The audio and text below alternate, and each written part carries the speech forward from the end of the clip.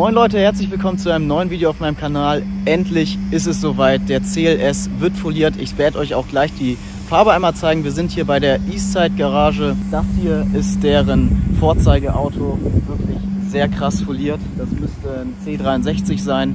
Das sieht schon mal sehr geil aus. Wir sind hier frisch umgezogen. Eastside Garage könnte man jetzt denken im Osten von Hamburg. Wir sind hier in Wedel. Leider ist deren alte Halle abgebrannt und deswegen mussten sie jetzt hier zwangsläufig hinziehen. Ähm, leider sehr schade, aber dennoch haben sie sich das hier sehr, schon sehr schön eingerichtet. Jetzt werden wir mal reingehen und das Auto, der CLS, ist schon aufgebockt. So sieht das hier aus bei den Jungs. Da steht er schon. so, das ist der Niklas. Der bockt das Auto schon mal auf. Der Stefan ist da. Moin. Ich bin Kemal. Was macht ihr hier gerade? Werbefolierung oder? Wir zerlegen gerade den ähm, Talento. Der kriegt eine Vollfolierung mit Beschriftung. Ja. Und ja, da muss ein bisschen was runter. Bei weißen Autos ist immer mit Spaltmaß und so. Genau, ich habe eben schon gesagt, dass eure alte Halle ja irgendwie abgebrannt ist oder so. War nicht eure Schuld, also. und jetzt seid ihr hier jetzt erstmal zwangsläufig für ein Jahr war das, ne? Genau. Ein Jahr umgezogen und. Aber es sieht ja auch gut aus hier, ne? Also. Ja, Okay. War vorher größer oder? Nee, die ist jetzt größer. Okay. Na, das ist ja schon mal ein Upgrade. Alles klar, Niklas. So, was wird als nächstes gemacht? So, wir wollen das Auto aufbocken. Ähm, Ja. Luftfahrwerk müssen wir irgendwas einstellen oder können wir den so heben? Also ich heb den immer so. Gut, dann werden Wahrscheinlich jetzt wieder in den Kommentaren, ah, das Luftfahrwerk geht Schrott und so, natürlich. Also was wird im Einzelnen alles gemacht? Türgriff hast du gesagt? Züge entfernen wir, die Spiegel gehen raus zum Lackierer, genau wie das äh, Haubengitter. Genau, das wird auch schwarz gemacht. Ne? Genau, dann ah, die, Leute, die Leute wollen ja die Folie sehen, ne? Die wollen die Folie, Die sehen. Folie. Oh Mann, Der schöne CLS bekommt einmal diese schöne Folie von das ist 3M. echt so krass. Einfach so geil. Also die äh, ganz aufmerksamen können schon mal runterschreiben, welches Auto noch in dieser Folie foliert wurde. Bin ich mal gespannt. Ja, das sind jetzt 20 Laufmeter. Ich hoffe, das reicht. Das wird auf jeden Fall reichen. Das wird reichen. Und äh, Dach werden wir schwarz machen, sowie auch eben erwähnt, das Gitter wird auch schwarz. Und ja, als nächstes alles auseinanderbauen. Als Ne? nächstes wird das Auto auseinandergebaut, richtig. Genau. So, Kemal ist jetzt schon hier am Abbauen.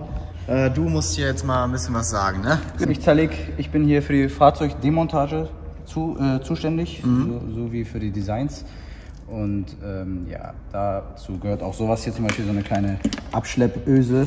Der ein oder andere Folierer würde da einfach rüberkleben, ausschneiden, fertig. Also es gibt welche, die machen es. Ähm, ich finde, man baut es aus, ist kurz fünf Minuten Arbeit, dann spart man sich, hat man ein saubereres Ergebnis. Ja, auf ne? jeden Fall. Gerade bei dem Kontrast, weil wir jetzt eine relativ dunkle Farbe haben.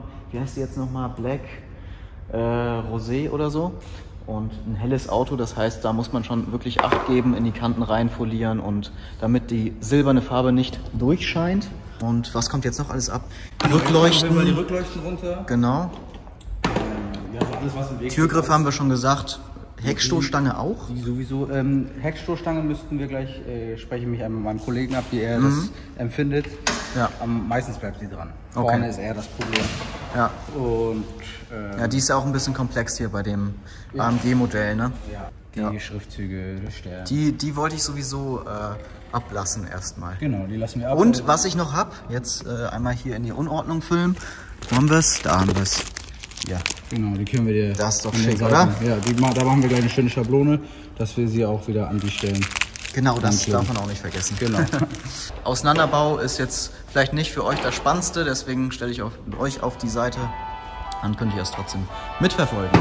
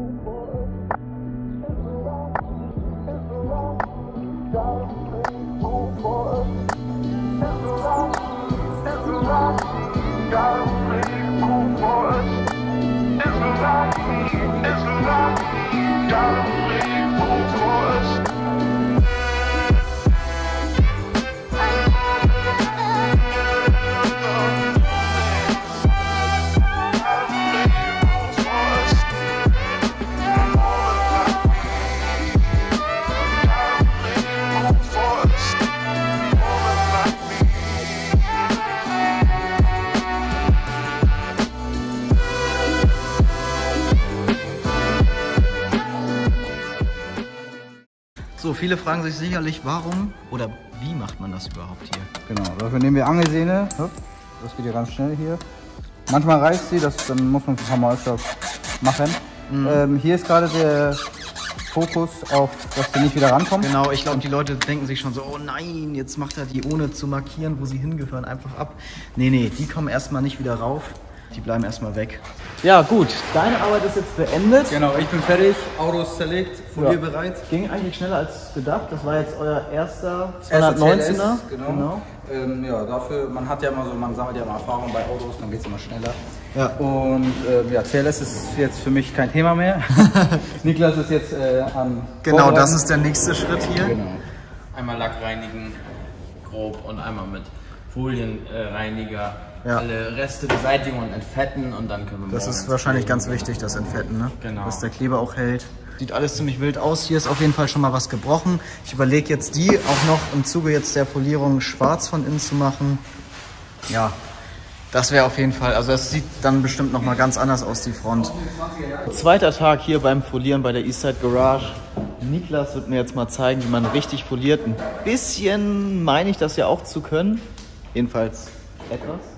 Aber ich glaube, es gibt Man kann einige immer dazu lernen. Ne? also ihr müsst sicherlich auch nicht alle Tricks äh, und Kniffe zeigen, die ihr so wisst. Ein bisschen Betriebsgeheimnisse gehören natürlich auch dazu, aber die groben Sachen wirst du mir sicherlich erklären können. Richtig, genau. Und wo, womit fangen wir an? Mit der Tür? Wir fangen mit den Türen an, genau. So, du hast schon alles gestern zugeschnitten. Ich also habe es- gestern schon alles einmal zugeschnitten, erleichtert vieles. Ich habe jetzt gerade einmal das Auto grob äh, übergereinigt, nochmal staubfrei gemacht. Genau, das ist so der Stand, den wir jetzt gestern äh, hinbekommen haben. Alles auseinandergebaut, vorbereitet. Wichtig ist immer, wenn man doppelte Tür macht, zu zweit auflegen. Wenn man Ja. das alleine macht, kann man natürlich mal Genau. zur Hilfe nehmen. Deswegen ist Stefan da. Oh, mm. schön. Wichtig ist immer viel Spannung drauflegen, so dass wir faltenfrei die Türen auflegen. Okay. Du genug? Sieht halt so einfach aus, ne? Fertig. Jo, fertig. Nur noch schneiden. Also ich persönlich fange immer oben an, Ja, suche mir die erste Kante ja. und rakel dann einmal von links nach Das, rechts. was am weitesten raussteht sozusagen? Genau, genau. Ja. Einmal die weiteste Kante so. So hätte ich jetzt auch angefangen. Genau. Und dann suche ich mir erstmal die oberste Kante. Ich persönlich, weil oben immer Staub unterkommen kann. Okay. Sprich, oben einmal dafür sorgen, dass die Folie sauber abschließt. Dass so da können- nichts mehr Genau, rankommen so kann. können wir nicht mehr davon ausgehen, dass Staub unterkommt. Wir sagen mal, mit drei Kilo drückt man. Ja. Ähm, so vermeidet man, dass Luft unter die Folie kommt. Ne? Okay. Und dann immer Stück für Stück wirklich im 40-Grad-Winkel den Rakel halten Ja. und lang rakeln. Oberflächlichen Kratzer, wie ihr das jetzt vielleicht sehen könnt, Genau. weiß ich nicht, Ja. sind mit dem Föhn ganz einfach zu beseitigen. Ja. Das wusste ich auch nicht. Also, dass man da einfach hier Hitze drauf macht. Genau, einmal Hitze und dann ist es weg. Ne? Ja. Muss ja eh nochmal dann so getempert Richtig, werden. genau. Oder? Es wird zum Schluss das? einmal noch getempert. Jetzt oben, um sauber zur Chromleiste abzuschließen, benutze ich die spitze Seite des Rakels. Ja. Die ist hier mit Teflonband, sprich es rutscht. Und so komme ich ganz sauber unter die Chromleiste unter. Man kann natürlich abbauen, was man bei so alten Autos aber auch vermeiden kann, damit Ja. halt Teile nicht kaputt gehen. Geht dann, ne? dann werden die Oder so, verbiegen, genau. Ja, verbogen. Ja, sieht ja jetzt schon geil aus. Wieder Spannung draufbringen. Das ist immer ganz wichtig, ne? Genau, ganz wichtig, damit man die Falten bildet. Dass man keine Falten hat. Hier sind noch so ein paar, aber das ist, denke ich mal, nicht schlimm dann. Ja. Genau, man, man muss sich Folie. halt Zeit lassen, ne? Man muss ein Genau. bisschen Geduld haben, mit der Folie arbeiten. Immer beobachten, wie die Folie sich legt.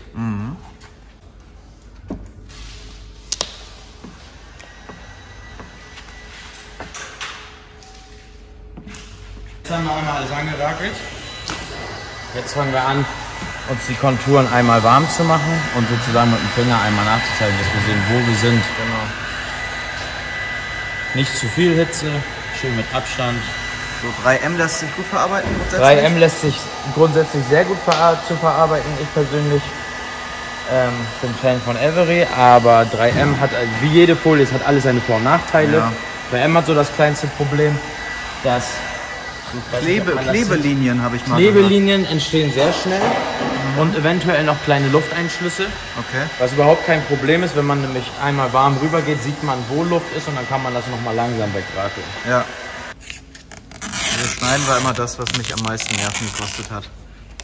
Ja, das ist mir gedacht Tatsache hatte. wirklich am meisten halt, Übung. Ja, du kannst halt echt alles wieder kaputt machen. Richtig, du kannst alles fertig haben und im Endeffekt musst du dann doch wieder alles neu machen. Deswegen immer vorher, ich sag mal, dreimal überlegen, wo man schneidet und wie man schneidet.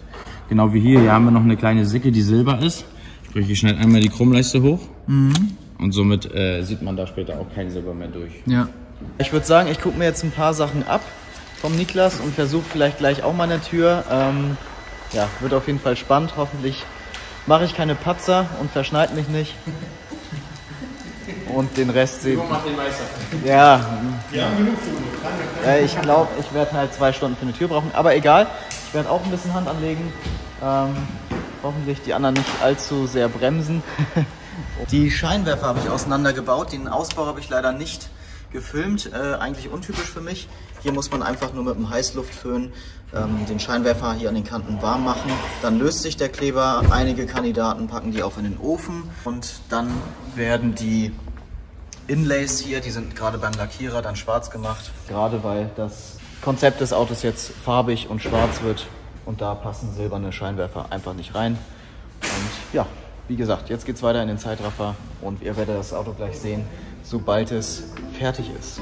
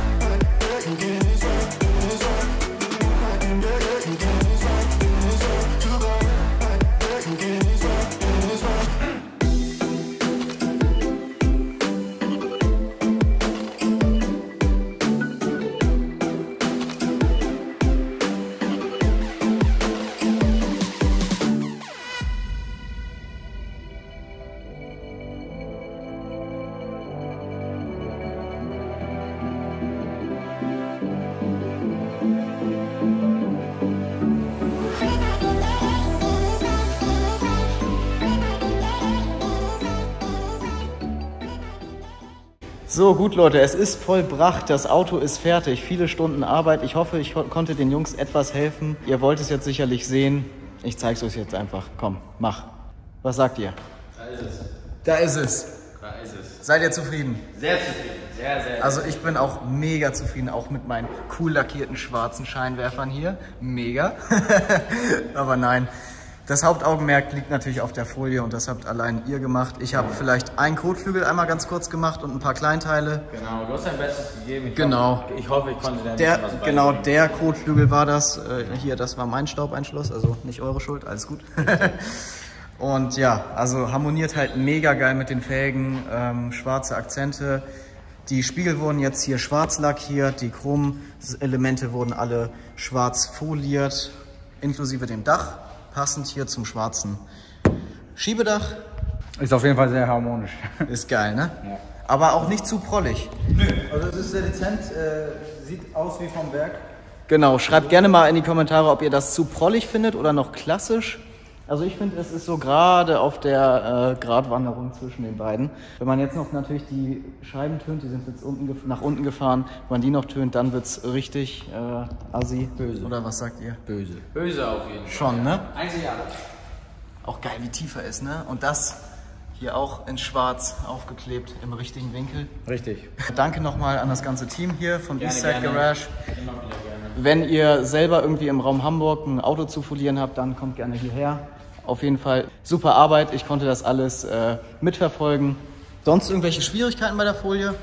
Überhaupt nicht. Also das Typische, was halt 3M halt so zu geben hat, ne? Lufteinschlüsse und sehr kratzerempfindlich. Genau. Aber wenn man die Erfahrung hat, dann löst man das eigentlich Ja. ziemlich gut. War, war euer erster C219? Genau, erster CLS und äh, Genau. ich weiß jetzt, ich bin auf jeden Fall eine Ecke schlauer. Ja, Leute, ihr kriegt jetzt gleich nochmal schön was auf die Augen und ich verabschiede mich damit aus dem Video. Bis zum nächsten Mal. Ciao.